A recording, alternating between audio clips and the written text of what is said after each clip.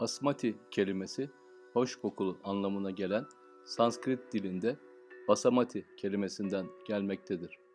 Bu pirincin taneleri daha uzundur ve pişirildiğinde yapışkan olmaz.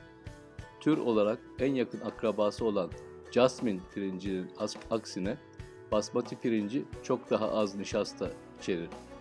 Jasmin ya da Yasemin pirinci ağırlıklı olarak Güneydoğu Asya'da tüketilir. Buna karşılık basmati pirincinin ana vatanı Himalaya dağları etekleri olduğu için özellikle Hindistan ve Pakistan'da tüketilir. Dünya basmati pirinci üretiminin %66'sı Hindistan'dadır. Bu üründen ilk kez bahseden kişi Varis Şah isimli bir Sufi derviştir ve 1766'da yazdığı bir şiirde bundan söz etmiştir. Basmati pirincini öncelikle Orta Doğu'ya ve zamanla Avrupa'ya tanıştıranlar Hintli Müslüman tüccarlar olmuştur. 1990'larda Liechtenstein prensine ait olan Ricetek adlı bir Amerikan şirketi, Amerika'da pirinç ürünlerine ait bir patent başvurusunda basmati kelimesini kendi isimleri olarak tescil etmek istemişti. Hindistan 1997'de bu terimin kendilerine ait olduğunu belirterek bunun geri çekilmesini istedi.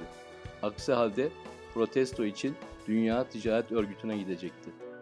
Neyse ki Raistek firması bundan vazgeçti.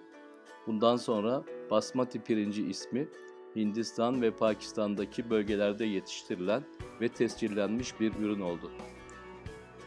Basmati pirincinin kendine has kokusu bitkinin yapraklarında bulunan Pandanus amyriphilosus maddesinden ileri gelir. Çeşitli üretim şartlarına göre bu maddenin miktarı artıp azalır. Pişirme süresinin uzamasıyla da bu koku azalmaktadır. Kokuyu korumak adına daha kısa sürede pişirebilmek için pirincin en az yarım saat süreyle suda bekletilmesi önerilir. Ayrıca suda kaynatılmayıp buharda pişirme ile de bu koku korunmaktadır. Basmati pirincinin glikemik indeks değeri 89 olarak tespit edilmiştir. Bu durumda diyabet hastalarına zararlı olan direnç diğer pirinçlere göre daha az zararlı olmaktadır.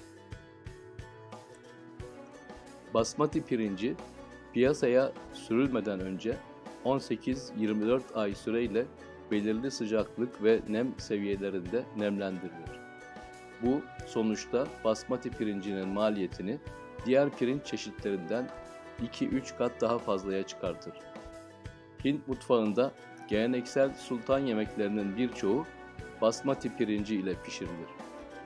Dünyada kaydedilmiş en eski hazır yemeklerden birinin Hint tatlısı olan kir, bir tür sütlaç olduğu ve ana malzemesinin basmati pirinci olduğu birçok tarihçi tarafından tespit edilmiştir. Çeşitli ülkelerdeki basmati pirinci üretimi Hindistan, Pencap, Haryana, Himachal Pradesh, Delhi, Uttarakhand, Batı Uttar Pradesh ve Jammu Keşmir eyaletlerinde üretilir. 2011 yılındaki üretim miktarı 5 milyon ton civarındadır. En önemli ithalatçıları Suudi Arabistan, Birleşik Arap Emirlikleri ve İran'dır. Pakistan Ravi ve Cenap nehirleri arasındaki bölgede yetiştirilir. 2010 yılında 2.4 milyon ton üretim alınmıştır.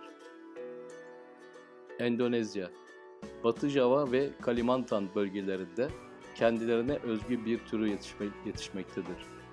Köken olarak Pakistan'dan getirilen tohumlar kullanılmış, yerel şartlara uyum sağlaması için hibrit tohuma geçilmiştir.